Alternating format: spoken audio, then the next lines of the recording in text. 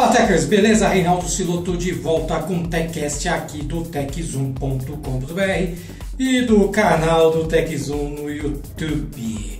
Seguinte, hoje eu vou falar de um assunto bem bacana, bem legal. Eu vou apresentar para vocês um script de código aberto desenvolvido em PHP e MySQL para gerenciar projetos. É um gerenciador de projetos de código aberto, open source, PHP e MySQL. O nome deste script é Solo. Solo ou Solo, é Solo, é mais bonitinho. É, ele é um script é, relativamente é, novo, então pode ser que nem todo mundo ainda conheça, mas ele é muito bom, ele tem recursos avançados e o melhor, ele foi é, desenvolvido e pensado para freelancers ou para pequenas equipes. Então, se você aí trabalha sozinho ou trabalha numa empresa pequena com uma equipe enxuta, é, mas precisa gerenciar os projetos que estão rodando, os projetos que, que estão para serem entregues ou projetos que já, entre, que já foram entregues, enfim, você precisa de algo para gerenciar tudo que está acontecendo aí na equipe. É, é, em questão de desenvolvimento ou na questão até de pagamento, se o cliente já deu uma entrada, não deu, ou se você tem várias tarefas e você precisa contabilizar quanto tempo você está levando para fazer cada tarefa, é, o solo tem todos esses recursos. O melhor de tudo é que ele é facinho de instalar. Ele ainda não possui versão em português, mas dá para fazer a tradução. Eu vou mostrar até aonde e como você faz a tradução. É, e com certeza vai ser mais uma ótima ferramenta para você utilizar aí sozinho, né, nos seus trabalhos como freelancer ou até na empresa, na sua empresa, na empresa que você trabalha, como uma ótima ferramenta para gerenciar os projetos. Então aguenta aí, logo depois da vinheta, que também vai mudar em breve, é, eu volto para a gente conhecer, para você aprender a instalar o Solo. Um gerenciador de projetos muito louco!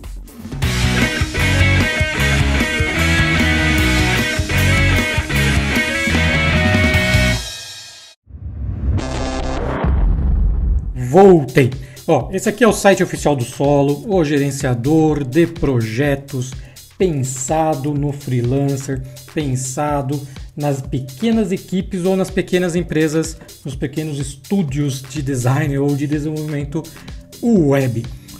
Aqui no site oficial tem bastante conteúdo, é legal que depois você dê uma navegada, leia tudo com calma, mas o nosso foco hoje é fazer a instalação. No futuro, se você quiser ou assim achar legal, deixa nos comentários aqui do YouTube ou lá do techzoom.com.br que eu volto é, para a gente fazer novos vídeos, novos conteúdos, enfim, a gente volta a falar no solo num futuro TechCast. Então vamos lá. É, caiu na, na, na página oficial, clica aqui no botãozinho download. É, ele espera só alguns segundos aí, ele já vai fazer automaticamente é, o download do arquivo, tá vendo que está pedindo aqui. É, já vamos salvar lá no nosso www localhost. Ele é pequenininho, ó, é 3.3 megas, não vai demorar muito aí, você não vai perder tempo com o download. Deixa eu só abrir a pasta onde eu baixei, tá aqui ó, solo. Vou descompactar este arquivo descompactei. Lá ele criou uma pastinha chamada solo, não tem problema, pode deixar esse nome mesmo. É, você não precisa mexer em nada aqui por enquanto. Depois eu vou mostrar como faz a tradução, daí a gente volta aqui para a estrutura, beleza? Então agora a gente vai digitar aqui, ó, localhost barra solo. Não aconteceu nada, por quê? Eu tenho que fazer a instalação, certo? Então, barra install, solo barra install. Cai na telinha de instalação dele. Só que antes eu tenho que criar um banco de dados que eu vou utilizar com este meu gerenciador de projetos. Então eu vou lá no meu phpMyAdmin, vou criar um banco, opa, vou criar um banco aqui chamado solo. Nada mais justo, né? Criei, ó, criou, solo criado. Agora sim eu consigo voltar aqui para a instalação e continuar com ela. É, aqui ele tipo fala eh, quais são os pré-requisitos que você precisa ter ou não. É, aqui é só ler, tá? Só clicar no botão Next. Agora sim, se tudo aqui estiver verdinho, quer dizer que você pode instalar o solo aí no seu servidor ou no seu localhost. Se tiver alguma coisa vermelha, você tem que ver o que é, instalar ou configurar aí. Combinado? É, verdinho, bonitinho, next. Caiu aqui, ele vai falar que tem algumas pastas, algumas pastas que precisam estar com é, é, com recurso né, de gravação. Você tem que, elas têm que estar disponíveis para gravação pelo script. É, ele fala quais são as pastas. Você pode simplesmente ir lá e ver se está essas configurações. Se não, é só clicar aqui em Check Folder. Ele vai te dizer. Se der permissions, permissions, ok, está correto, beleza. Então você pode continuar com a instalação. Se não estiver, você tem que ir lá e mudar o CH Mode das pastinhas que ele informou, beleza? Oh, hoje estou falando beleza pra caramba. Mas enfim, aperta o botãozinho Next de novo. E aqui a gente caiu é, na parte de configuração do banco de dados. Lembra que a gente criou um banco aqui? É aqui que a gente vai entrar com essas informações. Então, qual é o nome do banco que a gente criou lá? Solo. Então, digita solo aí. É, qual que é o endereço do database, do banco de dados? Localhost, qual é o endereço do servidor, né? É, qual que é o usuário? Root. Qual que a senha? Root. No meu caso é root root, né? Usuário root, senha root. Se você estiver usando o MAMP, quer dizer, se você estiver usando o AMP e não mexeu em nada das configurações, você tem que fazer isso aqui, ó. Deixa a senha em branco, porque é, esse é o padrão do AMP. Combinado? Tá? Aqui, como eu já mudei essa senha, eu tenho que digitar. No seu caso aí, se você não alterou isso, deixa do jeito que está. E Create Database. O que ele vai fazer? Vai criar lá as tabelas, os primeiros registros, vai fazer tudo isso. É, caiu nessa telinha, disse que beleza? Clica de novo no Next. Agora a gente tem que digitar as informações do aplicativo, do script. É, aqui a base é o URL, é o caminho padrão do é, solo aí no seu servidor. Se você não souber, ó, clique em More Info, ele vai te mostrar aqui, ó, localhost barra solo. É só copiar. Tá? Se você já souber, pode digitar direto. É, qual o nome da, da, empresa, né? Da sua empresa. Ou qual o nome aí do. Se você é freelancer, coloca o seu nome, enfim, coloca o nome que você acha melhor.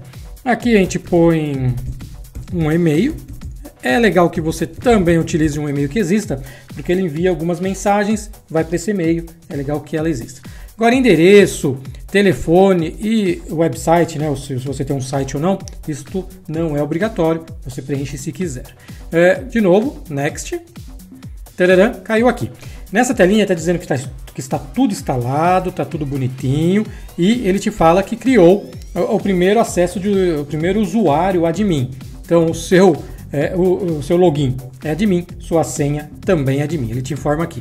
E fora isso, ele te diz para apagar a pasta install para você não correr riscos. Então você vai lá na estrutura, ó, tem a pasta install aqui, você pega, apaga ela ou renomeia, tá?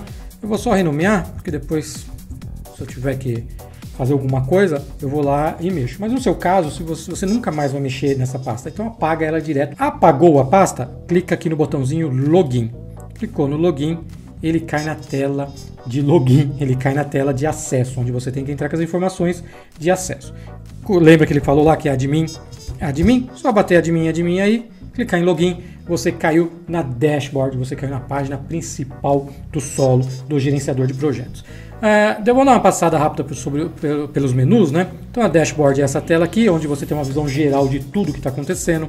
Aqui é uma, uma lista com todos os projetos que você tem, é, lista de clientes, arquivos, você pode subir arquivos, né? manter um controle de arquivos. De repente você está fazendo um site e alguém da sua equipe ou alguém alguém aí, ou você mesmo, ou alguém da equipe precisa de um arquivo, você sobe esse arquivo, você, joga, você sobe o PSD para ele depois fazer o download e trabalhar, enfim, você tem isso também. Aqui são as tarefas, você pode ter tarefas dentro dos projetos. E aqui são templates, eu não vou falar disso agora, que é uma coisa um pouco mais avançada, mas tem na documentação oficial. E se você quiser no futuro eu até volto neste assunto.